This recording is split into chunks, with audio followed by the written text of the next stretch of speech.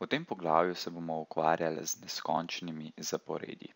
Neskončno zaporedje je tisto zaporedje, kjer n oziroma členi zaporedja gredo v neskončnost. Se pravi, ne moramo določiti števila členov, grejo v neskončnost.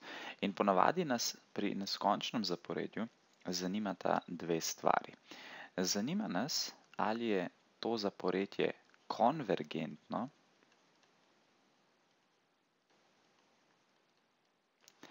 ali pa je to zaporedje divergentno.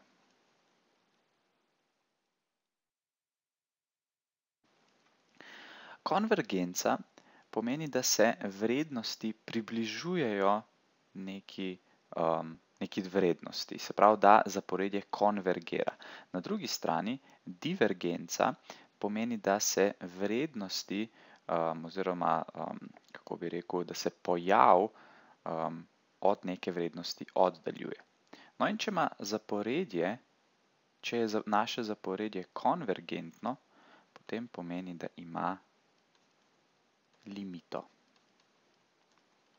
In mi si bomo zdaj to, ali je zaporedje konvergentno oziroma divergentno, pogledali na enem primeru.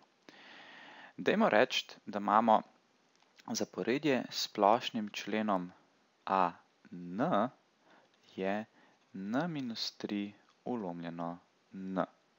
Se pravi, zdaj lahko zapišemo nekaj teh naših členov. Se pravi, lahko zapišemo A1, A2, A3, A4, A5, A6 in tako naprej.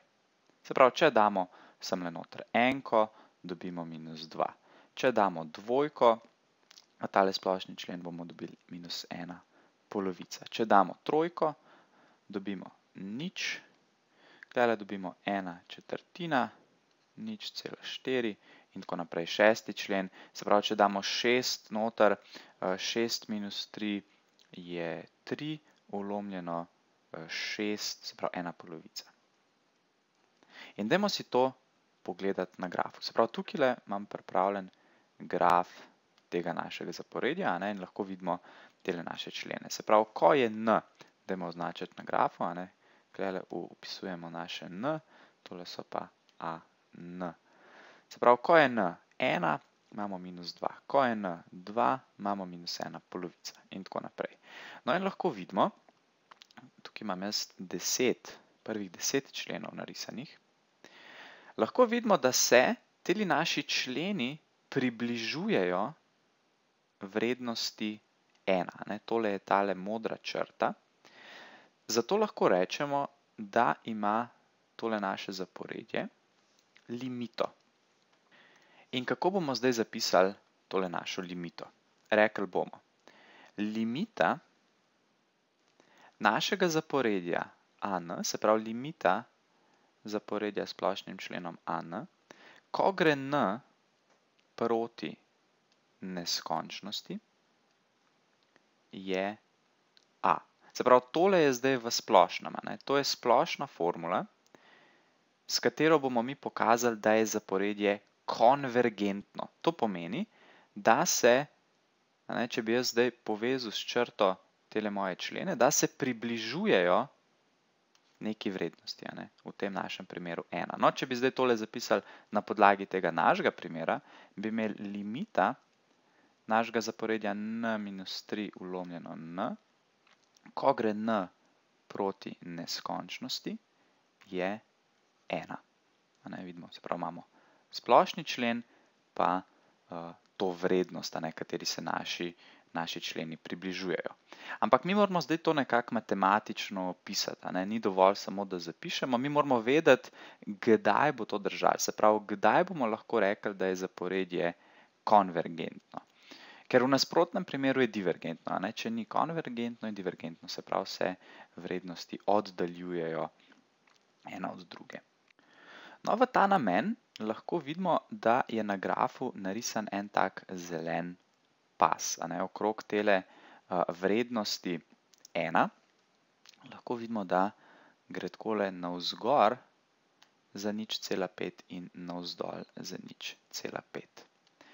Tole bomo imenovali E okolica, se pravi takole z takim epsilonom, je označena E okolica. Klele je v plus, klele je v minus. Ne? In vidimo, da gre od uh, nič cela pet do ena cela pet. Se pravi, tole imenujemo ta pas je okolica tele naše limite ena. Se pravi, lahko klele zapišemo, da je naš, da je naš epsilon, se pravi, ta okolica je nič cela pet. Zdaj pa poglejmo eno točko. Recimo, dajmo si, dajmo si vzeti tole točko, se pravi sedmi člen. Ne? Vidimo, da je takole oddaljenje od tele naše meje ena za neko vrednost. In potem, če pogledamo naslednji člen, ne? osmi člen, vidimo, da je ta razdalja še manjša. In če pogledamo deveti člen, vidimo, da je še manjša. In če pogledamo deseti člen, vidimo, da je ta razdalja še manjša. Se pravi, ta razdalja med mejo, ne, med limito 1 in točko se zmanjšuje. No in kadar se to dogaja, se pravi, to lahko zapišemo takole.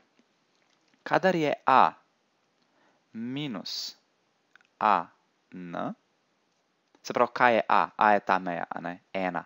Se pravi, tole klele imamo zapisan naš a.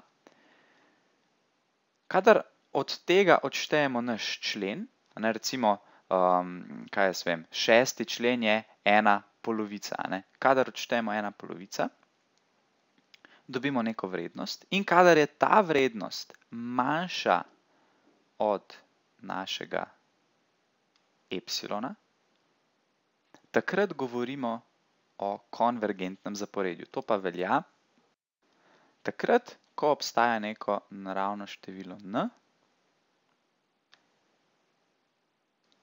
za katerega velja tole. n je večje od n. Se pravi, mi lahko na tele naši x osi lahko vedno poiščemo nek n. Recimo, da je tale osemka n. In če mi vzamemo zdaj en naslednji člen, ne, recimo mali n, tukaj lahko vidimo, ne, da je n, se pravi, mali n je večji od n, In če je naše zaporedje konvergentno, potem bo veljalo tole. Vedno bo ta razlika, se pravi tale razdalja med temi točkami, bo vedno manjša. In če bomo vzeli 9, neko naravno število n, in potem enega naprej, 10, se pravi, da bo, da bo veljalo tole. Če bo zaporedje konvergentno, bo veljalo tole. Sed, a, mogoče zdaj, če tole ni čisto razumljivo, bomo videli, potem v nalogah. Ampak v glavnem, dajmo si zapomniti, zaporedje neskončno je konvergentno takrat, kadar mu lahko zapišemo takole limito. Ne? To pomeni, da se njegovi členi zaporedja približujejo neki vrednosti a, v nasprotnem primeru je zaporedje divergentno.